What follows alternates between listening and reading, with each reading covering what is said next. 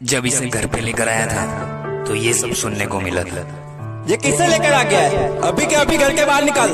इसकी body diet तो सब करेगा? और आज देख लो। अब है